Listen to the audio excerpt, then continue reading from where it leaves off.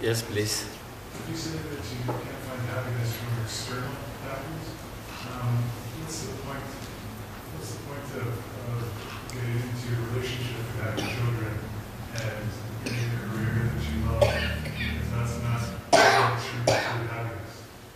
Um, it seems like it's all kind of geared to do is to to grow up, get a career, have kids, have the car, do that. I just don't see how.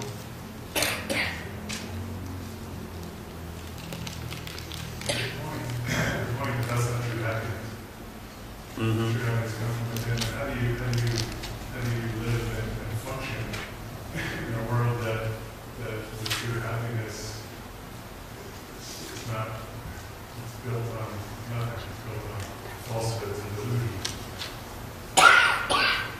Well, um, we get in a relationship not because it's to.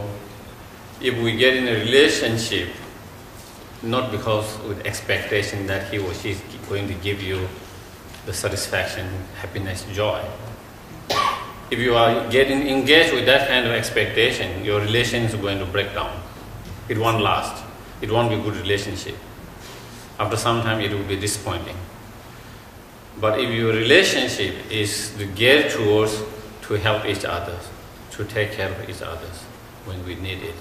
So it is not about to get some kind of happiness from her, but to be able to live together, to be able to grow together, to be able to share together, to be able to understand each other, and so that in that senses, then the relation will be more stable, better, less expectations, less disappointment, and also you begin to find more stable happiness, joy, meaning in your relationship. And it's same with the children.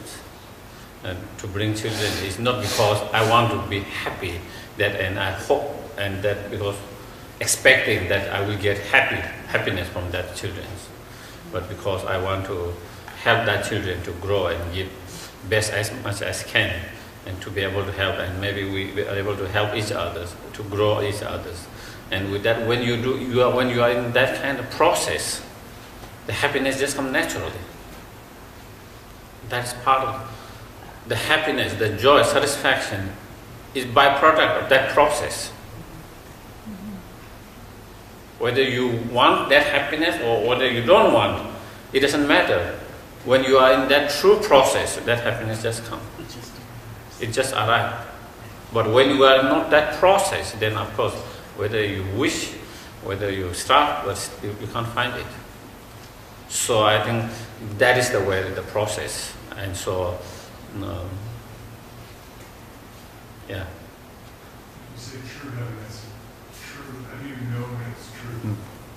True happiness.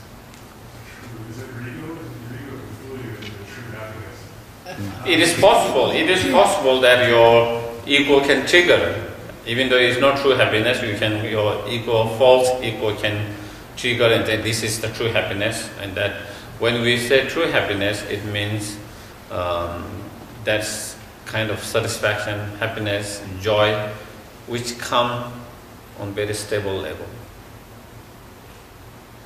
It's not fluctuating like the moments. It's very stable, stand, steady all the time. It doesn't fluctuate by the external changes, circumstances. When you are able to find that kind of peace, calmness, stability in your life from within, just not being so disturbed by the external circumstances, changes, then I think that is where you are beginning to have more of inner happiness, more of true happiness.